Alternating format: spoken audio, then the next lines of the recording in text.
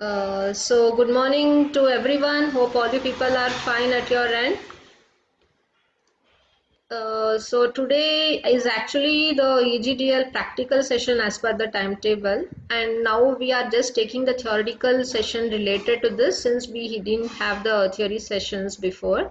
So later in the theoretical class I will be explaining you the concepts and in the practical session you will be solving the problems in the sketchbook and any doubt I'll be clarifying you people. Okay. So now we until now you have understood the concepts of projection of points, lines, right? The same concept you'll be applying for projection of planes also. So uh, please uh, mute your mic. Whenever you want to speak, raise your hand or unmute. So kindly now mute. If you want to speak anything, you can unmute your mic, okay? Or else it gets disturbed to everyone. So I'll be now just sharing a screen to you related to planes.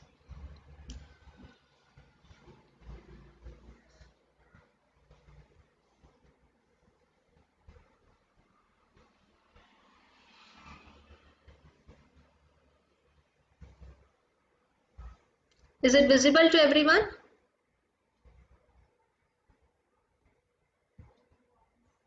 Okay.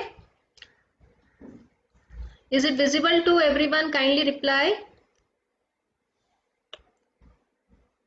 Is it visible? Hello. So this is an uh, screen which has been It is showing visible, ma'am. visible. But your voice is not that much clear. voice is not clear. My voice is uh, properly here to me.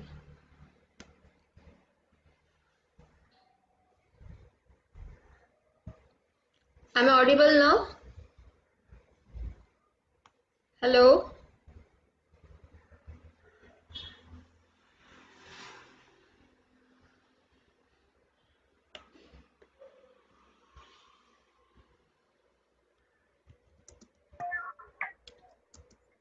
Okay. Audible? Okay, now you can see. So until now we have studied the projection of points and lines. So now we are coming for planes. So planes are nothing but the two-dimensional objects. It could be a triangle, a square, a rectangle. A...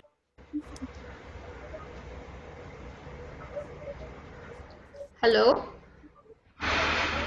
Okay, the planes could be any two-dimensional surface. It could be a triangle, a square, a rectangle, a hexagon, pentagon, whatever.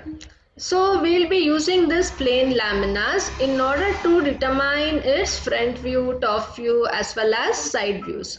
So everyone know how to construct a triangle, a square, a rectangle, right? So triangle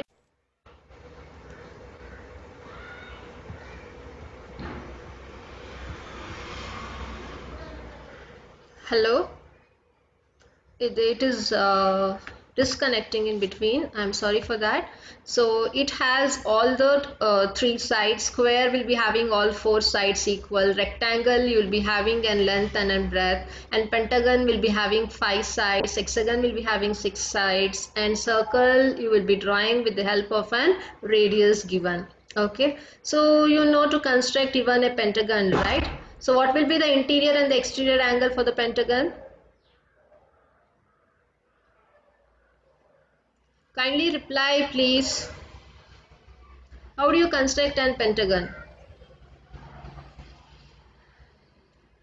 You will be having an interior angle and an exterior angle. A side of 50 mm will be given. So there you will just draw a 50 mm side and then you will take the uh, exterior inter, uh, interior angle as 108 and exterior angle will be 72 degree. So then you after this 72 degree line you will again measure the distance and you will cut an arc. Similarly, you will go here, interior, exterior angle, you will take 72, so interior angle will be 108. So you will draw the line and you will measure the distance of the side given and you will cut an arc. Similarly, you proceed for other two sides and you get the required pentagon. Similarly, for hexagon. you will draw a line of 50 mm or whatever is being given so exterior angle for hexagon will be 60 so interior angle will be 180 minus of 60 so this will be 120 degree so you will take 120 degree interior angle draw the line and the side of the hexagon will be given so same measurement you will uh, use by using an compass and you will cut an arc Similarly here, uh, interior angle of one, 120 degree, you will draw the line and the side of the hexagon will be given. So you will measure that distance and you will cut an arc. Similarly, come back for other three sides and you will get the required hexagon. So if you just construct basically uh, these all laminas initially in a plain sheet of paper, we'll come to know exactly how to construct a pentagon, hexagon and all. We have done this in the solid edge already, but manually in the sketchbook or in a plain sheet of paper, you just try constructing the pentagon, hexagon, the triangle, a square, a regular rhombus, how it will be. Okay, so before starting with the problems. So this is about the planes. So we will be focusing on just the planes which are nothing but the two-dimensional entity. So when we go for an three-dimensional object, then the chapter will be called as projection of solids. So after this,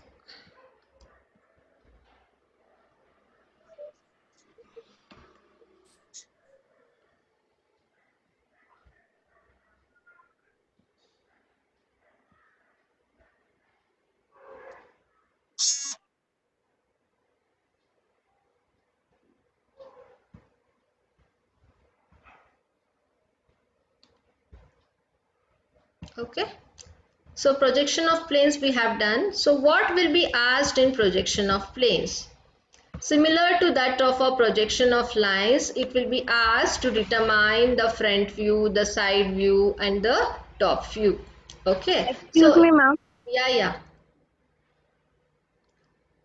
Ma'am, your voice is breaking. We are not able to hear anything. Your voice is breaking. We are not able to hear anything. Am i audible? Hello? No, ma'am. hello? Your voice is breaking, man. my voice here there is a clarity.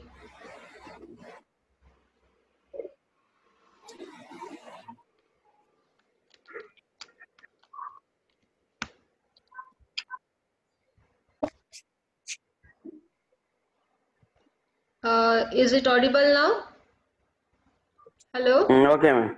okay Okay, ma'am.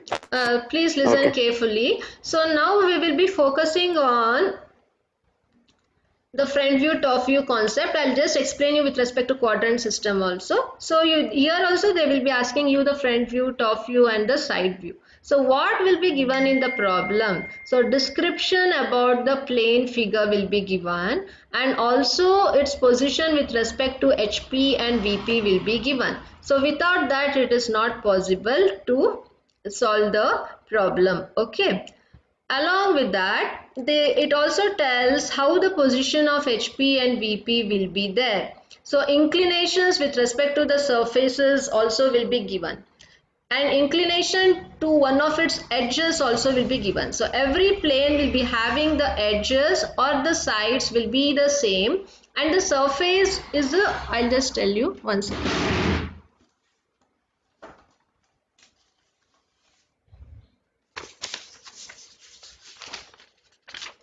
right so this is an uh, a triangle so it will be having these are called as the sides or the edges and this is called as the corner. One corner two corner and the third corner. So these are all the edges. Or even these are called as the sides. So this entire thing is called as the surface of the given lamina the front surface and the back surface. So you should be knowing the differences between the edges the corners and the surface okay so the inclination with respect to edges as well as the inclination with respect to surfaces will be given. Without that you won't be able to get all the views. Okay so now i will just explain you with respect to the quadrant system. So now you are sure that even in projection of play, uh, lines, we were focusing on the first angle projection. So here also we are focusing on the first angle projection which is associated with the first quadrant system. So in the first quadrant system, everyone knows what happens is you will be having an vertical plane and you will be having an horizontal plane. So now if we consider a rectangular surface, so this is a rectangular surface and this is a rectangular plane what we are considering. And if in the question it is told the surface is parallel to HP, so you will locate the surface of the rectangular plane such that it is parallel to our HP plane okay so when it is parallel to the HP plane when you view from the top the entire rectangle will be dropped on the horizontal plane. So this will be the top view of the rectangular plane. And similarly then you will view here from the front. So when you view here from the front the projection will be projected on the vertical plane so when it is projected on the vertical plane, what happens is you will be seeing only one line in the vertical plane. So the front view will be just a line and the top view here will be an rectangular surface.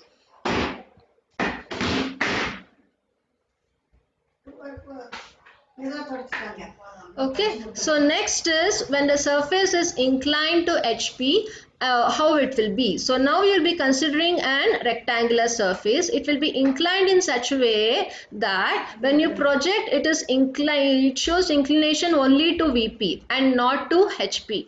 You should be very careful when they say the surface is inclined to HP, you will place a position of the rectangle in such a way that it is showing inclination to the vertical plane and not to the horizontal plane. So when you view from the top, you will be having an rectangular lamina visualized. This inclination will not matter but when we view from the top the projections are dropped exactly perpendicular to the horizontal plane. So you will be seeing an rectangular surface in the horizontal plane as our top view. And when you view from the front view, there is an inclined line only what we can see. The entire plane lamina will not be visualized. So this inclined line will be projected to our vertical plane and this will be our front view. Okay, so this is how it looks when the surface of the rectangular lamina is inclined to HP plane. And next, when one small side is inclined to vertical plane. So the sides here you have two large sides and two small sides, right? So the sides are also called as edges. So these four points are the corners. So these are the edges which has two longer edge and two small edge. So when it is told one small side or the edge is inclined to VP. So you will incline the rectangular plane surface in such a way that the smaller edge or the smaller side is inclined to VP. This comes in very rare case. So when you view from the top, you will get an inclined surface here and also inclined surface in the vertical plane. This is rarely given uh, usually but this also you have to understand how it looks okay so you will get an inclined uh, rectangular surface when it is viewed from the front and also you will get an inclined surface when it is viewed from the top. So after this what is our concept? You all know that we will shift the horizontal plane 90 degree in the clockwise direction. So when we flip our horizontal plane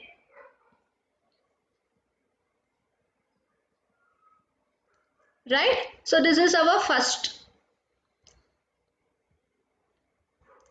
So here when this horizontal plane is flipped 90 degree down what happens is the top view will come below xy line and the front view will come above xy line. And always this rectangular surface should be named as a b c and d. And top view is always associated with only a b c d not a dash b dash c dash and d dash. So you will name only a b c and d and when it comes for the front view you have to show in terms of a dash b dash c dash and d dash. So here when you write when you view from here a dash will be so if the observer views from the bottom b dash will be visible and a dash will not be visible. So a dash we usually put it in the bracket it is not shown here but I am explaining you the concept. When the observer views from here, B dash will be visible and A dash is on the same line. This will not be visible. So which will not be visible, you will write it in the bracket. B dash in the bracket you will write A dash. Similarly, when the observer views from here, the, the C dash will be visible and this corner D dash will not be visible. So that you will put it in the bracket. So this is for the first condition. And for the second condition when the rectangular surface is inclined then again you horizontal plane you will rotate 90 degree down. So you will get the top view below the xy plane and the front view above the xy plane. So here again you will write it as a b c and d so this is the second stage which happens. In the question you will be having the first stage, the second stage and the third stage. So in the first stage you will show the regular position of the lamina. So when the surface is parallel to HP, you will get the a true shape of it in the top view. So first you will start up with the top view and then go to the front view. Okay, the true shape will be given always with respect to the top view and the front view will be always parallel to the XY line. This you have to consider because with the problem when it gives it can be parallel to HP as well as parallel to VP. We are focusing only on surface parallel to HP. When the surface is parallel to HP, you have to start the problem with the top view and the front view. And the top view only will give you the true shape okay and in the second stage usually they will give you the inclination of the surface with respect to HP they will tell that the surface is inclined to 45 degree to VP and in the second stage what you do is this line which was parallel to XY now you will shift that to 45 degree to VP so this concept I have explained you already for the second stage. Every problem will be having the three stages, 1, 2 and 3. First stage will provide the true shape of the given plane. If it is parallel to HP, you will get the true shape with respect to the top view only, not front view. Front view will be parallel to XY line. And in the second stage, they give you the inclination uh, with respect to HP. So in the second stage, what you will do is the same line will be inclined to 45 degree, uh, yeah, 35, yeah, 20, yeah, whatever degree given. Then you will project down and you will extend the projection from here and you will get the image of the, this is the apparent shape of the object. So in the first stage, you get the true shape but when it is inclined to particular angle you won't get the true shape of the given rectangular lamina. You will get the apparent shape of the given rectangular lamina. So it looks like a square here you can notice. And in the third it will give you the inclination with respect to the VP so VP inclination is always taken in the third stage. HP inclination is always taken in the first stage okay so here it is told that the smaller side is inclined to VP. So this is the smaller side. So they are showing the inclination. If it is told it is inclined to 45 degree to VP, the smaller side you can take either this side or this side and give the inclination with respect to VP and you will complete this entire rectangular lamina. Then you will take the projection above and you extend the projection here and you will get the apparent shape of the object. So top view will give you the previous uh, top view this one is the true shape what we got. And here you will get the in the front view you will get the apparent shape of it In the first stage, the front view will be parallel to the XY line and in the second stage, the front view will be inclined to particular angle to HP and in the third stage, you will get the apparent shape of the front view when it is associated with parallel to HP. If the given problems tells that surface is parallel to VP, then you will start with the front view and then come back to the top view. So this is what you have to understand. So every problem in planes will be having the three stages which helps you in solving the problems.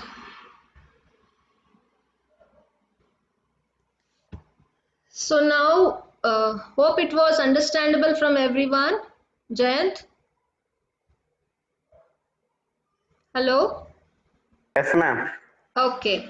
So this was the Yes, concept. Yeah, yeah. it. Yeah. So this was the concept of the quadrant system what we follow. So you have to be careful whether in the question it is told as parallel to HP or parallel to VP. If it is parallel to HP, we will start up with the true shape from the top view and then project it above for the front view.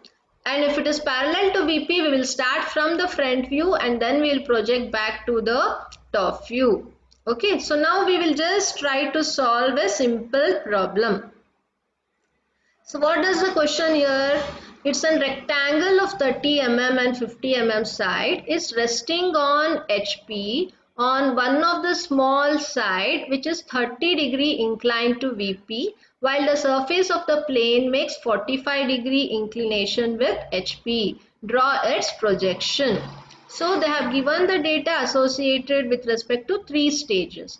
First understand it is given it is a rectangle of side 30 mm. So longer side will be 30 mm, uh, sorry, longer side will be 50 and the smaller side will be 30. So and it is told it is resting on HP. So whenever it is resting on HP, the given rectangular plane lamina will be parallel to the HP surface. Okay, and the, so that will help you in drafting the first stage. So as per the first stage, this rectangular surface will be parallel to HP. So you will get the top view down and you get the front view in the vertical plane as a straight line. The same thing you will picturize over here. So this will be 50 and this will be 30 mm. You will construct the top view and you will name it as A, B, C and D. After that, you will project this line above. Okay, so where it ends, you will join this as a common thick line. So this will be our front view. So when the observer views from here, B will be visible and A will be not visible. So while, while writing here, you please write B dash in the bracket A dash and you write here C will be visible and D will be along the same line that will be hidden. So that you will write it in the bracket. C dash and in the bracket you will write it as T dash, D dash. So this is the first position when the given rectangular surface is parallel to HP. Along with that, now they are giving you the inclinations with respect to HP as well as inclination with respect to VP. So inclination with respect to HP should be taken first and then we will take the inclination with respect to VP. So here it is told the surface with respect to uh, HP we will take. The surface of the plane makes 45 degree with respect to HP. Always the inclinations of HP or above HP data will come uh, uh, even in locating the line and the point if it is 25 mm above HP will take the line above XY line only. Similarly the inclinations of HP also to be taken above HY, uh, HP uh, above XY line. So when it is told the surface is making an inclination uh, with uh, 45 degrees. So you will take a line, you will draw a line which is equal to 45 degree. Okay, and uh, then you will just uh, measure this distance how much it is from here till here you will measure and the same distance you will draw and you will cut an arc okay after cutting the arc you will get the end point so now you will write a dash b dash uh, here C dash and D dash over here. So which is not visible you kindly put it in the bracket. So this line later you will project it down. After projecting down, the projections of the top view also to be projected. So this helps in intersecting the lines at four corners. So the locus of A is meeting with the locus of A dash over here. So this will be named as A and the locus of B is meeting with the locus of B dash at this point. So this point will be B1, B and the locus of C is meeting with C dash at this point. So this point will be C and the locus of D will be meeting at C dash. So this point you can name it as D. So this no need of writing A1, B1, C1, D1. The same thing we can retain as A, B, C and D. Okay, so this is the second stage. After second stage, the, even the data related to VP is given. It is told that one of the small side is inclined 30 degree to VP. So here in rectangle you have two small sides. One is AB and other one is DC. So you can take either of the side and incline to 30 degree. So AB or DC you can take. In this AB is given. So you will just take an 30 degree line with reference to our XY plane. After that you will measure this distance how much it is. A to B. Okay. Now uh, that distance you will measure and you will cut an arc. So you will get this distance A and B. So from there you will just draw a perpendicular line. So this line will be exactly 90 degree. This line also will be exactly 90 degree. So you have to shift the apparent shape of the rectangular lamina to the third stage. So you will measure now from B1 to C1 what is this distance using the compass and from the keeping uh, the compass at this point you will just cut an arc. And similarly, you from A1 to D1, you will measure what is the distance. It will be the same. And keeping the compass here, you will just cut an arc. So then you will join all the four sides. So that shows now the rectangular lamina which was having the apparent shape is now inclined to 30 degree to VP. So after constructing the top view inclination to VP you have to get the apparent size apparent shape of the front view also for that what you will do you will take the projection above from all the four corners after taking the projection you will extend the projection uh, from the both the uh, corners of the front view. So then you have to read the locus carefully. Here you have B and the locus of B dash is meeting at this point. So this will be our B dash. Similarly, you have A and the locus of A dash is meeting at this point. So you will name this point as A dash. And now we have C here. The locus of C is meeting with the locus of C dash at this point. So we'll call this as C dash. And the locus of D is meeting with the locus of D dash at this point. So we call this point as D dash. So you got all the four corners. So then you will join A dash to B dash, B dash to C dash, C dash to D dash and D dash to A dash.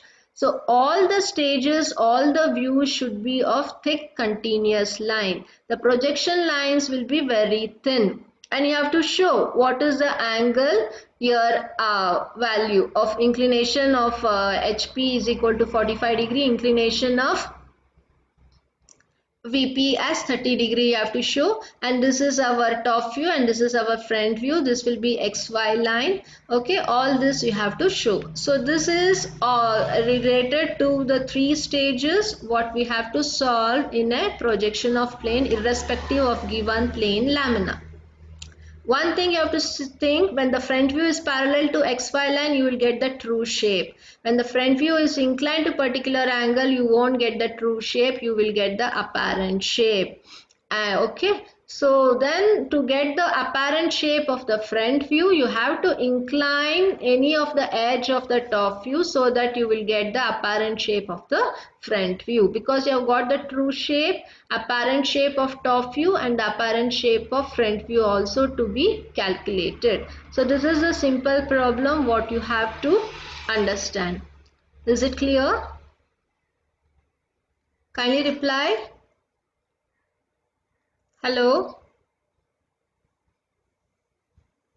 Hello? Yes, Hello? ma'am. Okay. So Yes, this was the basic example. So now uh, I will just uh, show you an simple problem. So let me share another.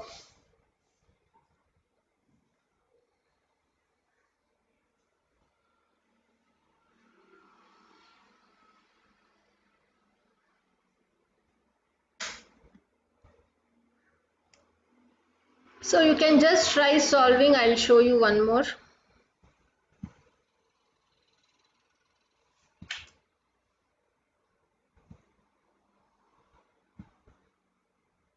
Is it visible?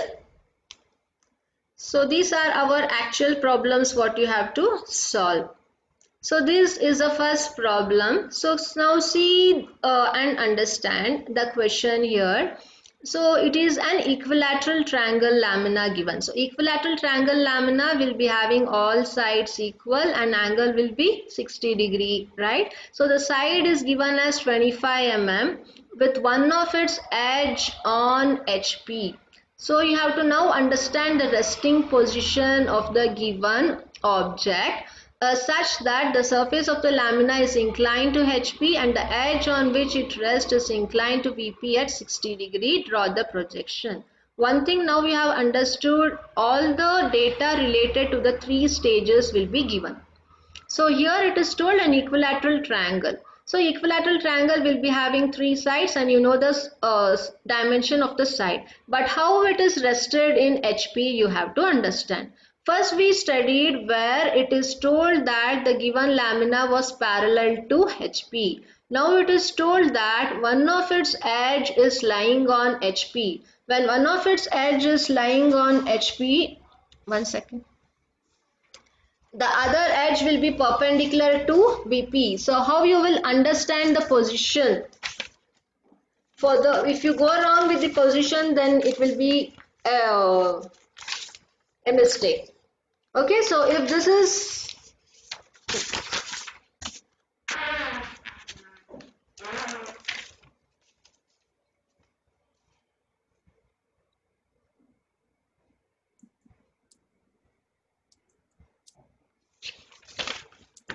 okay so if this is our horizontal and vertical plane the position of the triangle will be like this horizontal so that it is resting on one of its edge. So this triangle this side will be considered as one of its edge. It is resting in such a way that it is parallel to HP but in the same time it is perpendicular to our vertical plane. So if it has to be perpendicular to vertical plane you have to place the uh, triangle lamina in this direction such that when it shifts it will be shown in this way so you will always place one of its edge in such a way that this edge will be parallel to the vertical plane. So keeping one of this edge parallel perpendicular to the vertical plane you will construct the given uh, uh, triangular lamina. So you will draw 25 mm in the vertical line. You will take 60 degree from here. You will take 60 degree from here and you will measure 25 mm distance and you will cut an arc. Similarly you will measure 25 mm and you will cut an arc. So you will get the triangular lamina here. So then you will after constructing the triangular lamina you have to project that above. So it is told that the edge is resting on HP so that the front view will be exactly on the VP line. So there will be no distance above for extension. You will just project it and you the distance